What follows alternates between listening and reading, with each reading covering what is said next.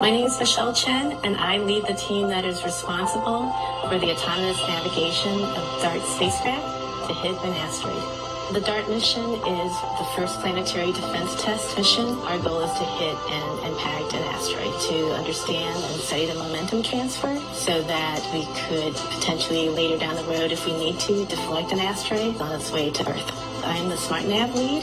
SmartNav stands for Small Body Maneuvering Autonomous Real-Time Navigation. SmartNav, I always consider it sort of like the brains.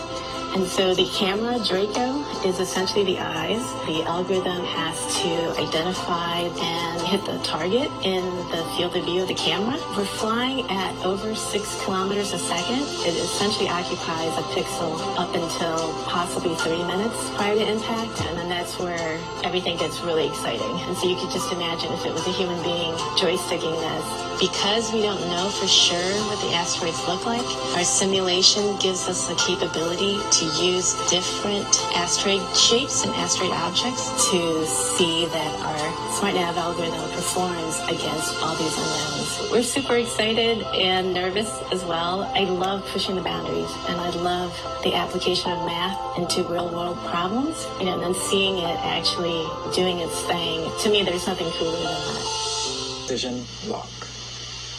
All right, we expect to be in precision lock soon.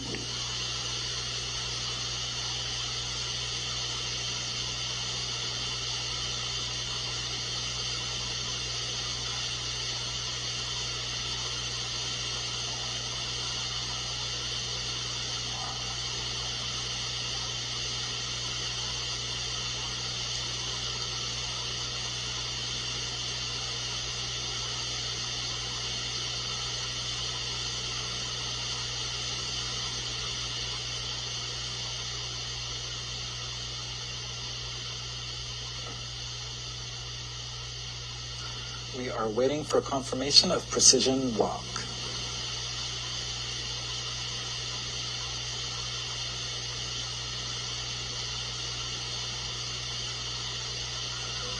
MSC, this is SN5. Go ahead, SN5. We are precision locked and still tracking Dimorphos. Yes.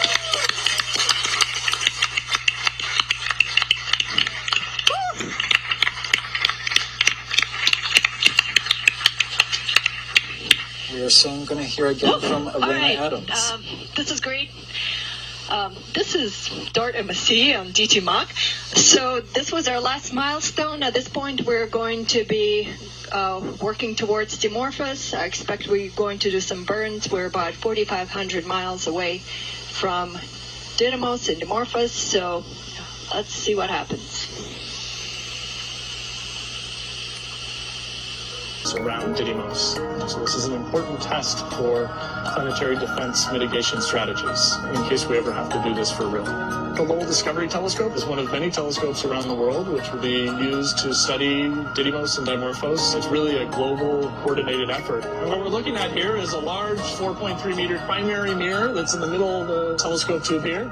Up at the top is a secondary mirror. The secondary mirror up top there is what is focusing the light down onto the instruments and allows us to take images with the camera that's located down at the bottom. This is maybe one of my favorite hidden rooms of the telescope. We're like standing inside the telescope, underneath the telescope, 100 tons above your head, held up by this and this, which is cool. It's sort of, as you can see, the, the highest peak around here, uh, just over 8,000 feet. Come up here for sunset. It's, you know, sun setting right there. It's, it's perfect. For DART, we're going to be collecting images of the night sky. And typically, an observer would be here in front of one of these consoles, controlling the instrument and taking images like these as they're coming in off the telescope. DART is really a sort of before and after experiment. We need to understand the system before the spacecraft intentionally impacts, and then we have to understand what the outcome of that impact event is. As we watch from the Earth, Dimorphos will pass in front of Didymos and behind Didymos. What we will be doing with those images is measuring the brightness of Didymos in those images and looking at how that brightness changes. And those dips in brightness allow us to measure when uh, these eclipses happen and measure the orbit period of Dimorphos. And so you have essentially a fixed star field here. All the white dots are stars of different brightness. And moving through this field is Didymos and Dimorphos, which again, we can't distinguish them as discrete points of light, but we have a small object moving through the field of view. So after impact, we will then be able to go back and start observing intensely, looking for those mutual events, those eclipse events of Dimorphos passing in front of and behind Didymos.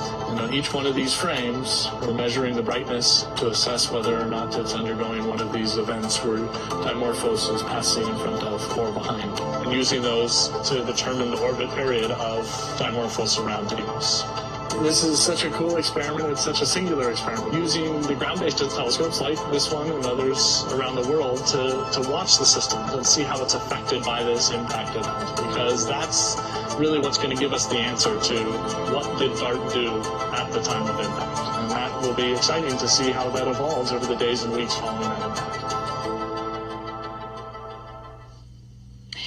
right. Open up these airways in the Mission Operations Center. We'll stay plugged in all the way through impact. Remember, at this point, five minutes out, no more commands to SmartNav will be possible. The team is watching it just like you and me and the rest of us.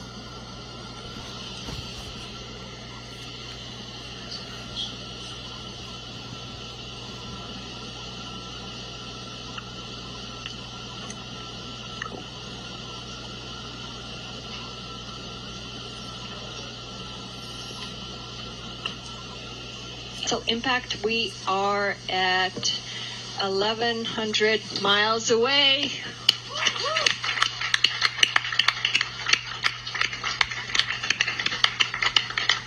Also, our window for sending any commands to the spacecraft is done. Contingency's done.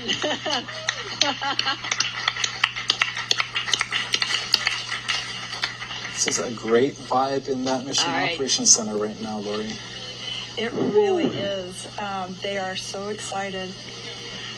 And The you know, I, not be too I'm honing in, looking at these images as we get closer and closer, and you look at Didymos, and just you're starting to see the this physical body appear there. It's incredible, just incredible. sounds great. I'm still having a hard time believing this is real energy coming in near real time. Yeah, yeah, but you've been watching it over the last, you know, minutes 30, 45 minutes go from just being a collection of individual pixels and now you can actually see the shape and the the shading and texture of, of Didymos. And we're going to see that same thing with Dimorphos as we get closer and closer. This is so cool. Never We're before seen maneuvering. images of Dimorphos will be come into stark relief a Absolutely. few seconds before impact. Didymos. It's amazing. Yes, zeroing in right on target. And we're now dropping the clock and we'll go by loss of signal to confirm impact. Right. Yes. Imagine we'll get that loss of signal and then we'll hear from Elena Adams again, um, letting us know I feel like we'll been know. I feel like that'll be a crystal clear signal. I think so. I think we're starting to see more, uh, more resolution. In fact, look at that. Didymos has even gone out of the view. We're now just seeing Dimorphos. This is remarkable stuff. Oh my goodness, look at that. Looks like control system settling down. Angular rates look really good. I think we're going to get the investigation team some good pictures. Wow. No, no, come on, we can do better than that. Starting to see those individual boulders there. You can see shadows of Almost the various rocks on the surface. It's amazing, guys. Oh my goodness, look at that. Unbelievable. Yeah. Looks to me like we're headed straight in.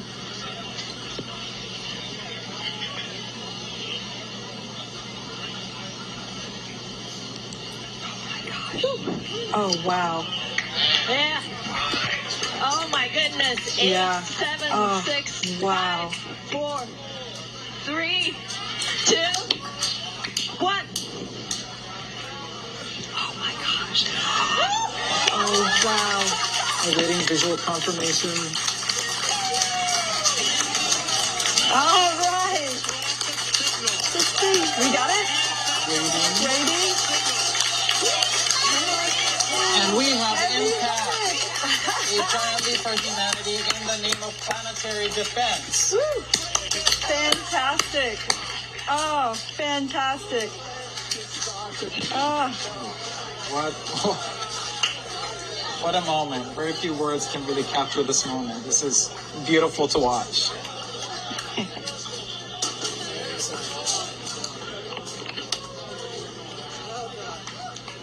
Amazing. Amazing. What a This team. is- What, a team and what an accomplishment. team. A few weeks ago, they had their last dress rehearsal. They were getting emotional at the dress rehearsal. They're like, "This is this is crazy. We're getting emotional. This is not the real thing." I can only imagine what they are feeling right now.